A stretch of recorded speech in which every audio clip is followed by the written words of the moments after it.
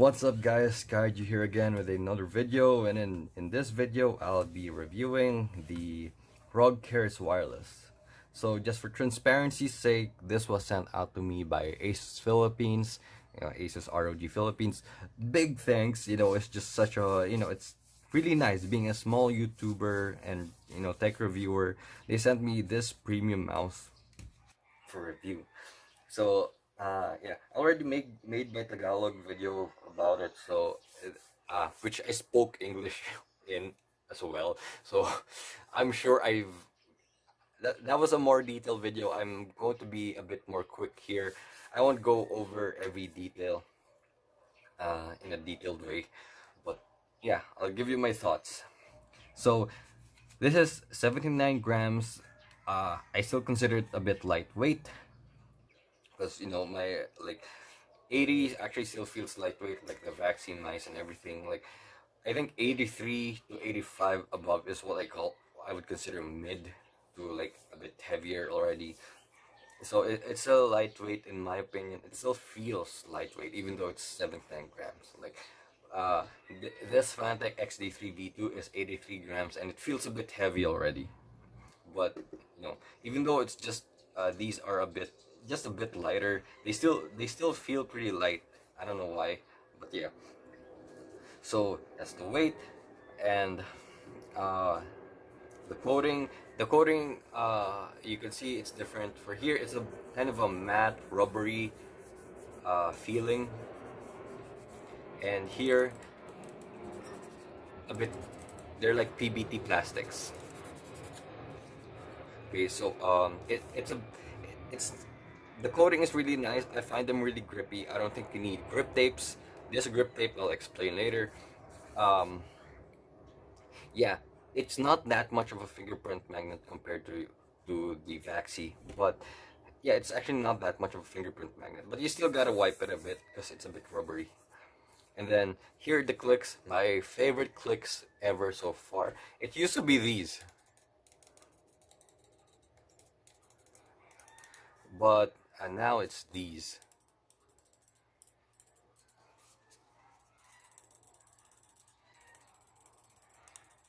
Nice crisp tactile.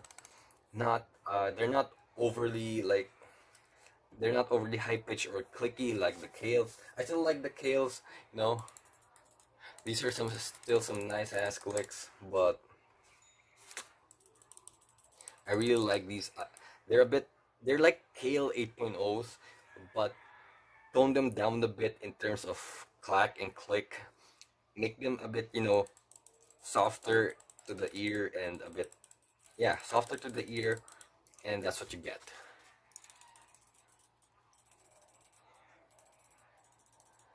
Favorite clicks so far, they've dethroned the Vaxee NP-01S clicks, which have been my favorite for the longest.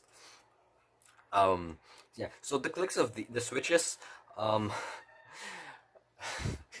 the switches of these are uh, uh, specialized, you know, 70 million ROG micro switches.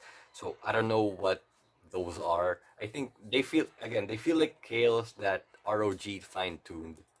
I really like them. I wish I could buy like aftermarket. I could buy spares or extras of them, put them in my other mice. And yeah, actually this is one of the main features of this mouse, like the hot swappable switches. So I'll, I'll get to that a bit later. Um, so the mouse feet again, the mouse feet are my number one stock feet ever. These are as premium and as good as aftermarket skates. Like they feel like Tiger Arc in between Tiger Arc ones a bit you know a touch you know five percent faster I think or I don't know. It's just they feel like Tiger Arc ones after breaking in breaking in. Like at first they felt a bit in the middle of Tiger Arc ones and Tiger Ice but now they feel a bit more like um they feel a bit more like Tiger Tiger Arc ones. And it's weird because these feel a bit more solid and thinner than Tiger Arc ones but you can feel the feedback of the mouse pad, like the texture of the mouse pad even more. Um, so yeah, actually the mouse seat are one of the reasons why I keep using this mouse, even though the shape is giving me trouble. I actually kept this mouse twice already, and I just kept kept on getting it back because I just really like the mouse itself. I like how it feels, you know, the coating, the clicks, the mouse feet, and everything. Uh, oh yeah. Side buttons, I forgot.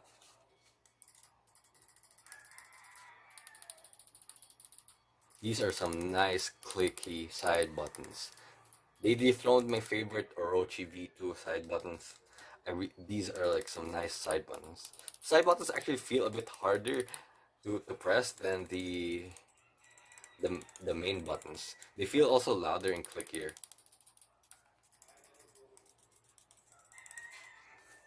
So yeah, this uses a 16K optical ROG fine-tune sensor I don't know what that means. People say it's a 3335, but you know, it says on the box it's a 16K optical sensor, so that's what I'm gonna say. So I don't know. So it has three modes: the 2.4 gigahertz, the wired, and the Bluetooth mode. So here you have the DPI button and the pairing. So you press this if you want to go Bluetooth. So uh, and then the wired mode, the cable, like wow. For a wireless usually wireless mouse cables, charging cables suck. But the this is the go in my opinion the goated the goat wireless uh, charging cable. This is almost as good as a paracord. This is better than most stock cables of wired mice. Like this is just so good. I'm using it right now on my keyboard uh, because you know of it feels like a paracord. See, like it's barely moving. It's really good. So even if you like, even if you don't have a bungee, I'm not putting this on a bungee right now, and you want to play this charged or wired for some reason, like you can barely feel it. It's almost as good as a paracord. Like mind blowing. Uh, yeah. What else? Yeah, I haven't had any sensor issues or like spinouts or tracking issues. I haven't had any latency issues with the clicks. Everything, uh, it's a pretty damn solid mouse. So the side buttons, uh, the way you remove them is, uh, is you press the front one, and then you see the triangle. That's where you kind of uh, use your nails to get it out, and then here, you know, just go inside and scoop it out. So it's magnetized, and then you can remove the top shell. I'm not gonna do it anymore. Like I made it in my other video. If you guys want to see that, so. Uh, you don't need to remove the side buttons if you want to remove the top shell but I don't know. For some reason I don't know placebo or whatever it, it feels easier if you remove them here uh Asus sends you out like a you know a couple of different um uh what's this? Side buttons. So you got the gray ones and the red ones. These are actually pink. For me they're like pink red. They're not like like red red like the Asus logo they feel like they look like pink so just pick whichever you want. I'm gonna stick to the to the black ones. They just feel more sleek. So yeah when you're going to attach the uh the side buttons again put the front one first because you know um the front one has some kind of extra plastic for anchorage. So put the front one first and then put the back one. When you're gonna remove it you remove the back one first and then but if you're gonna put it back you put the front one first. Okay. And then do like uh here. Uh out of the box you're gonna see that there are some some of these things here. You so you remove them they're just some rubbers to cover the screws. Just unscrew them with any screwdriver and then remove the top shell. It's a bit hard to remove the top shell at first but you know just be careful again i've made it my other video. I don't want to make this video long. So yeah. So after you unscrew both you don't need to remove the mouse feet. Just unscrew these both. You kind of just try to you know pull it up a bit. Uh, but don't be too forceful and too fast because there are some two anchorage points here in the below the M1 M2 so if you go like that right away it's going to snap so just be gentle until you kind of remove it up a bit and then slide it out. And then Asus also sent out some free Japanese arm. I think these are Japanese Omrons, the expensive ones. You know, uh, you know, if ever you got no switches. oh uh, the cringe. Sorry guys. If ever you got no switches, like you, you can put these. That's actually such a good, um, an amazing uh feature because you don't gotta buy soldering equipment. You don't gotta solder. Uh, you can just buy whatever mouse uh mouse switches you want and if you want to test them just put it on this on this mouse if you like have a preference of a switch you, you it's just you legit there's no there's no with this there isn't even a click or a lock you you, really just remove them. I don't know the specific technology but it looks like there are some like some metal uh things that keep the the pins in place. So you just legit just remove them and put them there. There's no clicking you don't need any special equipment. Uh, I, you, you can use your fingers and unless, unless you got super fat fingers it's not gonna fit. Yeah and there's no issues uh, they don't come off or anything really good that's really such a money saver and you know uh, convenience saver you got a pair of extra you get an extra set of the, their amazing mouse feet. I really love their mouse feet. Okay, so I think I've covered the the the basics, the physicalities of it. The RGB. Ah, this mouse is off. Like this is what it looks like with the RGB, but my camera is bad, so why bother? Anyways, yeah, this is what it looks like with the RGB. It actually looks pretty sick. Like aesthetically, I really like how this mouse looks and how this mouse feels. Like the only thing that's holding it back from being my main is uh is the shape. Wait let me drink some water. My my throat's getting dry. Okay so i'm back. So i think i've covered like the physicalities the features and everything of the mouse. Now to go to my thoughts and the shape so this mouse um retails for around 4000 something pesos so that's like 80 something dollars yeah. So do I think the price is worth it? I really think it is. Like I'm actually surprised why this mouse isn't talked about that much because it's a really banger mouse. Like you got an amazing you got an amazing cable. Like it's an amazing cable, especially for a wireless mouse. it sounds stupid, but yeah. You get amazing clicks. You get free Japanese Omrons, which I think are expensive I'm not sure how much they are, but yeah. Or I'm not sure if those are Japanese Omrons, but they look like the expensive Omrons. Like, I just made a quick Google search. You got some nice clicks here. It's a really premium feeling mouse. Aftermarket skate level stock skate, so you don't gotta buy, you know. I, I think there, to be honest, I don't even think there are aftermarket skates for this mouse, but yeah, I don't think you need to because the mouse skates for this are really good. Like, whatever these are I want you know I want them for other mice. So that saves you some money as well. And then yeah the hot swappable feature like yeah it saves you money. You don't need to buy soldering equipment or it saves you time if ever you don't need to solder desolder um uh what else or you don't have to have it serviced you know let's say it starts double clicking and the thing is it even if you change the switches, let's say you know soldering is easy for you or money is no object for you, like it, it's not gonna. If you want to change the switch, it's not gonna void your warranty. And even whatever you say, no matter how fast you are in soldering, I think it's just really more more convenient to just you know remove and put, remove and put. You know, so that's a really banger feature, and it has Bluetooth mode as well. So I don't know who uses it on Bluetooth mode, but yeah. So I think for the uh, it has a good coating. It's not slippery.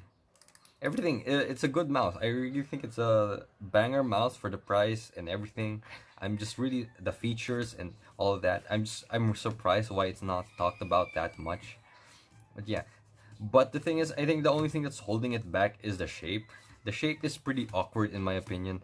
Uh, it's it's obviously it's an ergo shaped mouse, and I think it's it's medium to small. It caters more to medium to small-handed users. Um, I have 19 by 10 cm hands, so a bit on the bigger side. Like medium bordering on the big. So yeah, they're not gorilla hands, but you know it's kind of there, like medium bordering the big. And I think it's already too small for me. And the thing is, um, small ergo mice are generally awkward to hold.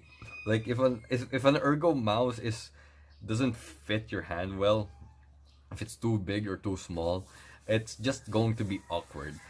And yeah, if my hands were smaller or this was a bit bigger, I think it's gonna fit better.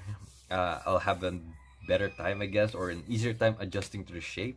I did end up adjusting to it because, like I said, I really dig the mouse. Um, like I kept it twice or three times, and I just kept on getting again because I just really like it.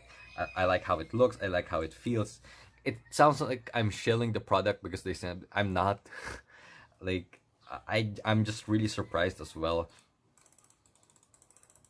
Uh, I really just like the mouse, everything about it except the shape. The shape is just awkward. So again, um, it's an ergo shape that has uh, a considerable hump compared to other ergo shapes like you know the the EC2, the Death Adder, the model the model D's and the minuses. Um, for those shapes, right? Like uh, I don't have one side by side anymore.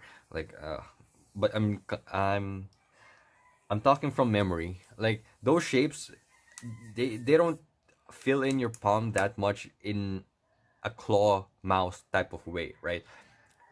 Usually the ergo shapes, the death adders, the EC2s, blah blah blah. It's more like it's more geared to like not that much uh back hump. It's more like you know relaxed palm that you can go like that. But this uh this you can claw grip this easily especially if you like the aggressive claw and you have smaller hands you know like 18 or 17 cm and below it's really good. Like it's like if you want a claw grip ergo if you want like a pincer or a tilt grip claw it's really good for that. Um so yeah it has a bit of a back hump so you, you get palm contact like that. It, it's a bit raised here but it's not too aggressive. Like my main problem with this is this part. Uh, it's just too damn low. It's too low that I usually relax I usually knuckle claw or relax claw and I I like putting my ring finger on this part of the mouth. Like uh, for example here with the Sim 2 I like putting it here. Or here the Fantech XD, XD3V2 this UPro Pro Superlight. I really just like putting it here in the side. But the thing is with this it's too low. So people that would like to put their fingers on this side of the mouse you know you're gonna have a bad time that's why that's why I put the grip tape. I didn't put the grip tape to add extra grip to it because the grip uh, the grippiness is good. It's fine. My main problem with it is the reason I added the grip tape is so that I'll have some extra, maybe a couple of millimeters, you know, extra space so that I can rest my fingers better or easily here without the right mouse button, this part of the right mouse button, cutting into my this part of my ring finger whenever I click it. Because whenever I click it, it just keeps going like that. Like here. It just keeps biting it. So that's like a weird flaw. Like it's really just too low, and I think it can isolates a a potent, you know, a good majority, not good majority, but a good percentage uh, of you know uh, of users, because I'm sure a lot of users like uh, that like to relax claw or palm grip or fingertip that put their fingers on this part, and they're gonna find it annoying. If you like to curl it here, if you like to curl your ring and pinky fingers, it's fine. You're you're not really gonna run into that problem, especially if aggressive claw and you have again smaller hands than me, 18 cm and below maybe. Then, but yeah, it's just really awkward. And I think another problem is that it there's no body. It's not like uh like for example here right with the with the G Pro Superlight. I can easily put it here and not think about the about the RMB cutting into my skin because you know there's a body there uh, like or here there's a body protecting it so I can easily put it there and even with the sim 2 this doesn't have a body protecting it that but it's still a bit you know it doesn't have like a prominent separation compared to here right? But it has a bit. Like if you can see it the the RMB is a bit you know just a teeny tiny bit more inward compared to the compared to the body. And even then because it's a bit high you know it's higher it's not go going to be that much of a problem. It doesn't cut into your skin. And the thing is this thing slopes down as well if you can see it right? It goes like that. It's not like other mouse that's just a bit straight. Uh, so that adds to the problem of it cutting to your skin. And yeah the only remedy i can think of it's not even a solution is like add some grip tape just one layer. I tried added adding two two layers of grip tape. It just made the grip it made it kind of worse for some reason and it made the grip feel weirder. So yeah uh, that's my only complaint about this mouse. I'd give it like a 9.9 out of 10 if you have big hands but if you got smaller hands it's an easy 10 out of 10 for me. And yeah uh the only reason i gave it a 9 out of 10 for like big hands because it isolates or you know it kind of rules out a certain you know grippers but again if you if you like to curl your fingers or put it near the body rather than the front then it's not going to be a problem i actually adjusted to it already that's why i keep this on my on my desk and I still use it. I've adjusted to it and and I enjoy using it. But yeah, I wish again Asus if ever you're you're listening and if you're willing to take, you know, some some I don't know, my opinion, some recommendations. And I've seen other people complain about it as well. So it's not just me, you know. Raise this part a bit if you're gonna make a V2 version of this. Raise this part a bit, you know, maybe just a couple of millimeters, three millimeters or you know uh yeah add like maybe a couple of millimeters or or you know keep the what do you call this? Just make this part solid right? You know like make a proper demarcation. And i think it it would be fine. You know just raise it in maybe a couple of millimeters two millimeters and then make this solid. You know don't make it cut our fingers. Yeah then it would be a really good solid mouse. Uh as well as if there was an ambi version of this i'd definitely buy it or you know if you can send it out for review again really appreciate it but yeah i want a ROG Keris ambi or like a v2 a ROG Keris v2 that you know tackles that problem because it's a really good mouse it's a solid mouse the only thing that's really holding it back for me to say that it's my main endgame mouse is the shape. Actually, it's yeah, it's this part. But other than that, I really like it. To the point that I'm I adjusted my my grip style and how I aim.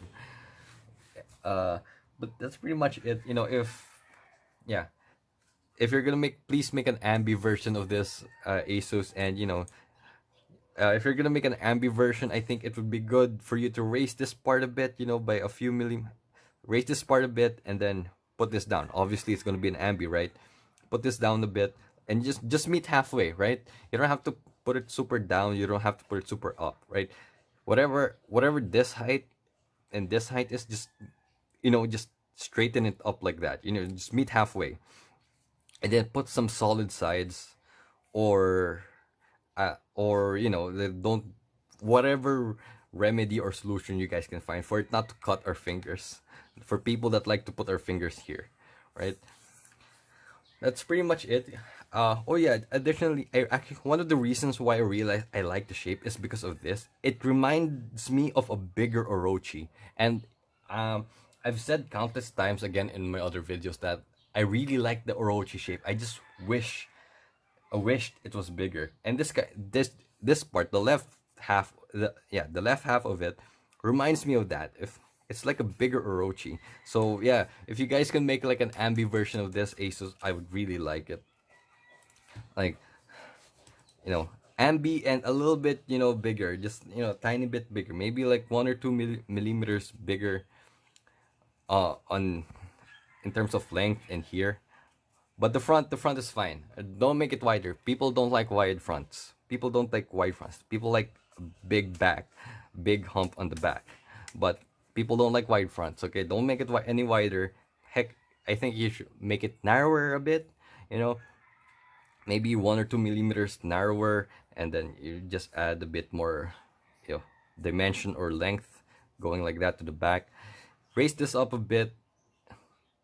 Uh, make a more solid body here or whatever solution you can think of so that it doesn't cut this part of our finger.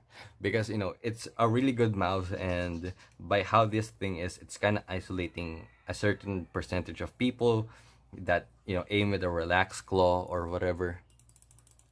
But that's pretty much it.